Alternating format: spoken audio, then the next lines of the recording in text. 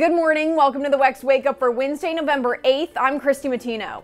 Well, the results from Election Day 2023 are in, and it was a good night for Democrats in many states, but especially in Virginia, a key state many were watching as voters headed to the polls yesterday. Virginia Democrats swept the legislative sessions, taking back control of the House and keeping their majority in the Senate. They flipped control over the state's lower chamber, which was a big blow to Republicans who wanted to continue to push a conservative agenda in the Commonwealth. They also flipped a handful of seats in key districts, allowing them to halt Governor Glenn Youngkin's plans on issues such as abortion, education, and economy. The White House celebrated this win with Vice President Kamala Harris telling voters there's still more work to be done. Democrats just won in Virginia, and here's what that means. Across the country, voters are rejecting extremist plans to ban abortion. It proves that not only is it bad policy, it is bad politics. And the House voted to censure Congresswoman Rashida Tlaib over her pro Palestinian comments about the conflict in Israel. On this vote, the yeas are 234 and the nays are 188, with four answering present.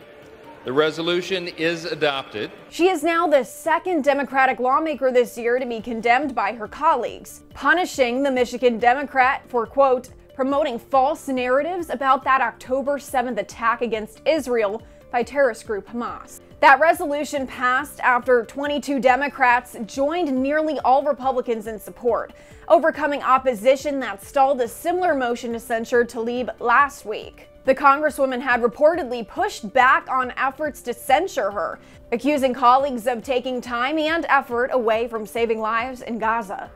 The idea that criticizing the government of Israel is anti Semitic sets a very dangerous precedent, and it's being used to silence diverse voices speaking up for human rights across our nation. And the White House is sharing their thoughts on new polls that former President Donald Trump is currently beating President Joe Biden. Our Christian Datoc reports. The White House sought to push back on a string of new polls showing President Joe Biden trailing former President Donald Trump in a 2024 rematch. There's going to be a lot of polls out there. there until now, until uh, the next couple of months, there's going to be a lot of dozens and dozens of polls. It's not my job or, or, my job from here to analyze these polls. Obviously, there are going to be folks on TV who are going to be doing that. Uh, it is a, it's a whole cottage industry out there when it comes to uh, when it comes to polling. So, just not going to get into it.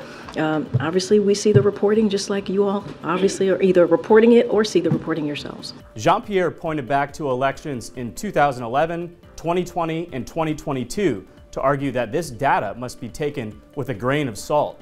However, it also follows a poll from NPR showing Biden trailing Trump in five of six swing states critical to his 2020 general election victory. Thanks for joining us this morning on the WEX Wake Up. Be sure to give us a follow online and on social media so you stay in the know of all those headlines trending in politics.